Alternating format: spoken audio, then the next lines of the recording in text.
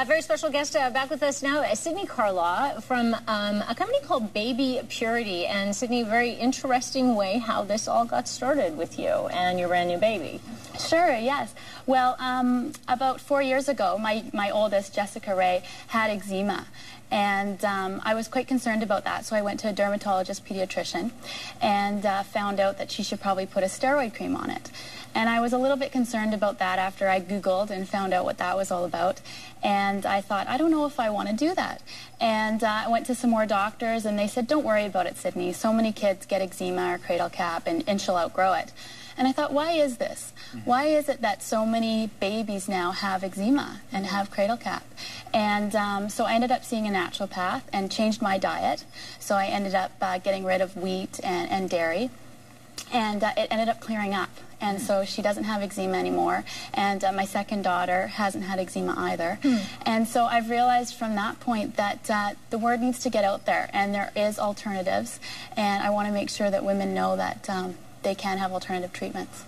Well, we're certainly hearing a lot right now about uh, this bisphenol A in bottles, uh, mm -hmm. lead in children's toys. There's been recall after recall. Mm -hmm. um, so, what, uh, as a mom, I mean, you've done a really amazing thing here. Just as you're not associated with any business, you're just a mom of two little girls and decided to put on a conference this weekend to get the word out and help other moms. Yeah, exactly.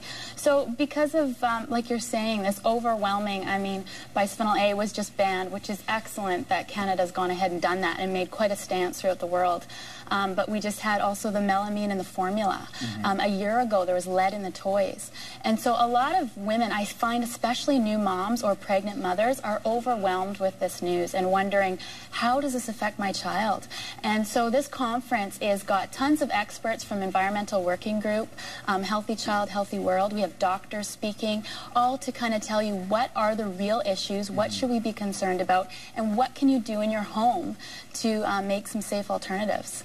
And there'll also be some, some vendors there who have ideas of what their products are and, and yeah. how they're safe and things like that. Yeah, exactly. So we're going to have a bag like this that's going to be full of great products. So lots of natural organic products. So we have diapers and, and uh, bo great bottles, not the bisphenol A bottles, and laundry detergent and just tons of great stuff, as well as free advice. I mean, there's going to be naturopaths there and doctors there that you can say, okay, what are some alternative treatments? Mm -hmm. or maybe some things you're hesitant about and you didn't want to see a naturopath. Well now you can you can get some advice. Okay so it's happening this weekend at the Sheraton Wall Center. Yeah so it's this Saturday um, yeah 9 to 5 so please sign up at babypurity.com or you can phone us.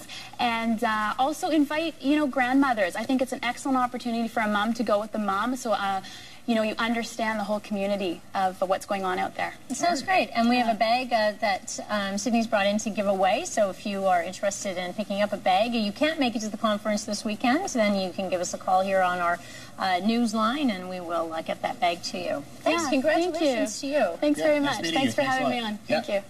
Mark, thanks very much. Excellent stuff. Um, pretty good day today. You're good.